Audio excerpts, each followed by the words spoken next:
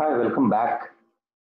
In this Python series, we shall be looking at how to install Jupyter Notebook for both Python 2 and Python 3 and without using Anaconda. I'm Vivek Mishra and let's get started. Before starting, let's have a quick two minute brief of what is Jupyter? Now, for those of you who are not aware, Jupyter is a browser-based REPL environment for running Python scripts. Although running Python script is not a strict because Jupyter supports multiple languages like Python, JavaScript, Go, C Sharp, etc. whatever command we type on those REPL or console kind of environment, they are saved along with their output and errors, which can serve as an excellent documentation for recording the details. And these details can later be exported as HTML, PDF, and in a variety of different formats. So you can try out and it becomes a great learning tool for trying out language features and apart from all these things, Jupyter Notebook also supports the markdown format for writing some document along with the code that you are running. So that becomes an excellent documentation to present your ideas. Traditionally, uh, Python community recommends using an Anaconda distribution which comes with out-of-box Jupyter configuration. But if all you need from Anaconda distribution is Jupyter Notebook, then you will not need it. There are fewer uh, tutorials as to how to install Jupyter Notebook without really needing Anaconda. Even fewer how to run it with both versions of Python 2 and Python 3. But essentially speaking, it's an extremely simple process. So let's get started with the prerequisites. Now, the natural prerequisite is the Python runtime, the Python installation must be already present in your system. If you are running it for both Python 2 and 3, then both should be pre-installed. And if you don't have Python 2 or 3 pre-installed or you do not know if you have or not, I recommend you to check my other video where we have learned how to install Python 2 and Python 3 and run them simultaneously or parallelly on your system. So assuming that you have this installation done in these two folders, that is Python 2 is present in C drive Python 27 and Python 3 is C drive Python 27, we'll get ahead. Now, this tutorial should work perfectly fine on OS X and Linux and I'll be telling you what changes you would be needing there as you don't have C colon Python 27 or C colon Python 37 folder in those operating systems. So assuming that you have some Python version installed, let's move on to simple four-step process. And step one being installing Jupyter Notebook for Python 3. Now let me tell you Jupyter Notebook is essentially a notebook environment. That is a browser-based environment to execute scripts. And it's not associated with Python 2 or Python 3. However, the notebook is itself written in Python and is available as a pip install. So let's get started to install the Python notebook in the first place. It's important that if you are planning to run it on both Python 2 and Python 3, get the one which comes with Python 3. And the command is simple. We are using Python 3 to run the pip command and you can also directly run pip command to install Jupyter Hub, Notebook and IPyKernel. So we are essentially trying to install three different things, the Jupyter Hub, the notebook environment and IPyKernel on Python 3. Now, here Python 3 is an indicator that we want to run Python 3 environment and the same command will work on Mac OS or OS X but for Windows you need to choose the appropriate command to run this piece. For example, your Python 3 command could be a fully qualified path c colon python.7 or Python, or if this is the default Python installation on your machine, then you can simply use Python rather than using Python 3.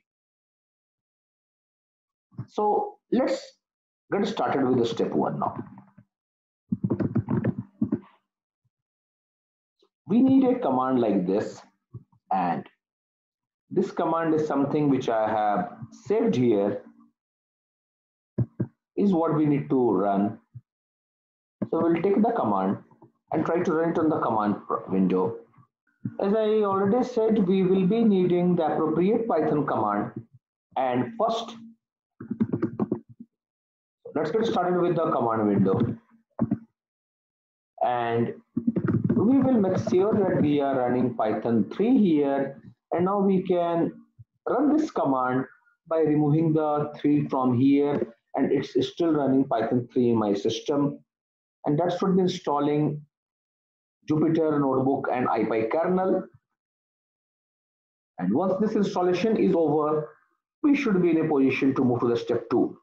And now that the installation is over, let's move to step number two. The step number two is registering Python 3 kernel with Jupyter. Now, Python is a general browser-based REPL environment, as I said, to support multiple languages. Kernel adds the language-specific feature to Jupyter. So, for example, you want to run, uh, execute Go language course in Python environment, you will need a Go kernel.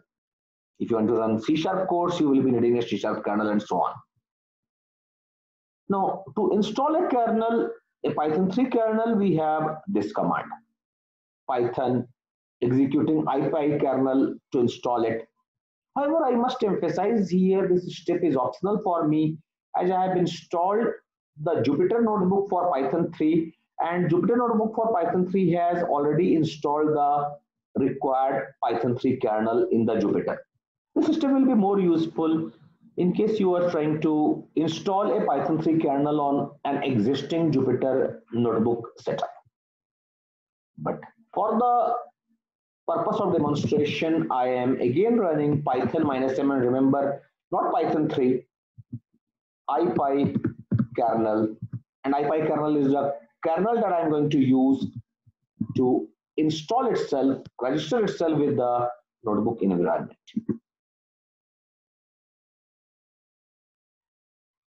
This step should take a couple of minutes to complete. And as you can see, Python 3 kernel has been installed. Now, having installed this kernel, I will show you how to use Jupyter Notebook. At this stage, I can move to a dedicated folder for this purpose. Let's create a folder called Python Notebooks.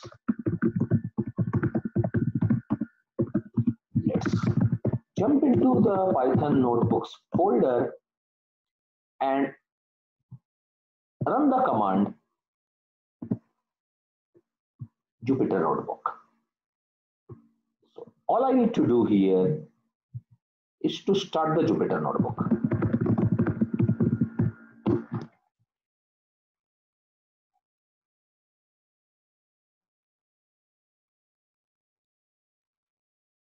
As you can see, a notebook, a browser-based environment is set up here. You may try to run a Python 3 hello world.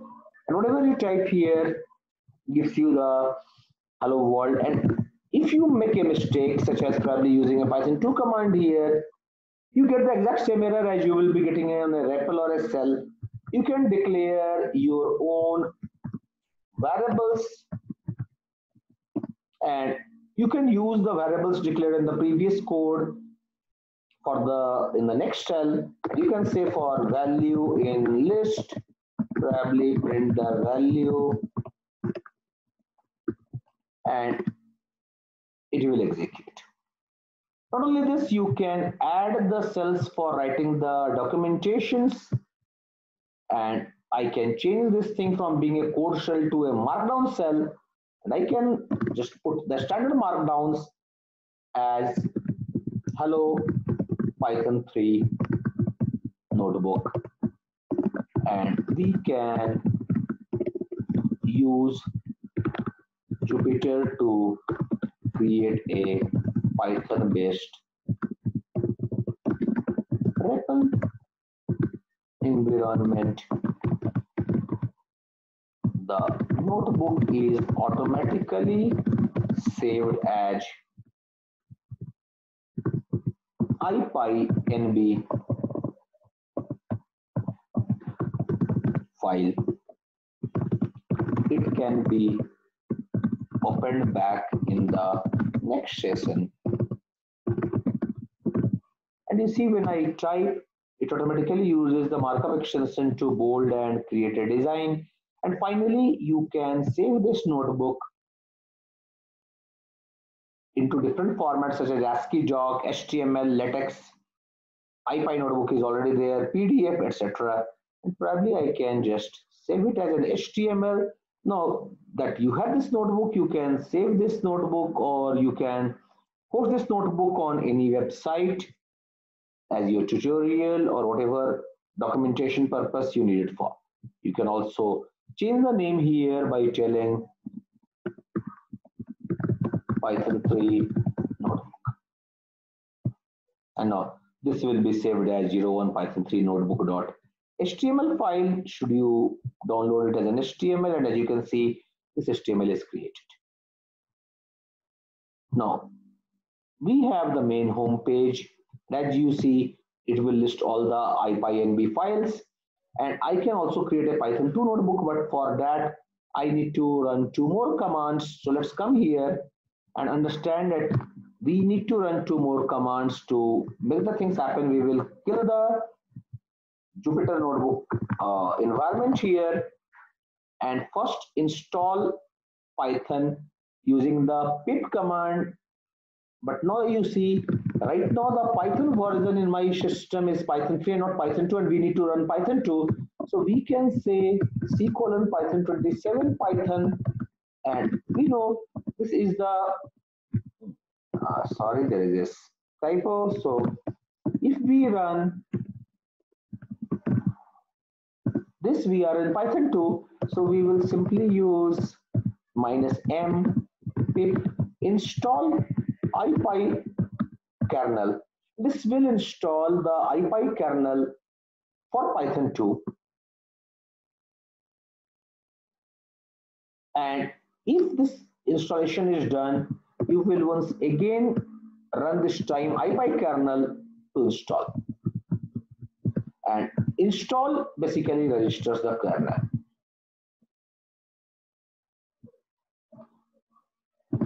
And that should install the ipykernel. Once the ipykernel is installed, we can restart the Jupyter notebook.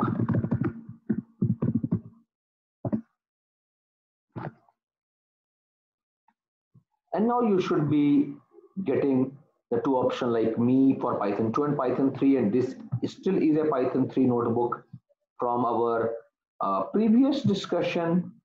And this one is a Python 2 notebook which can easily run Python 2 commands and will probably fail at Python 4 commands if I say something like this. So now we have both Python 2 and Python 3 installed in Jupyter Happy Coding and we'll look forward to see you back in our next session on Python programming.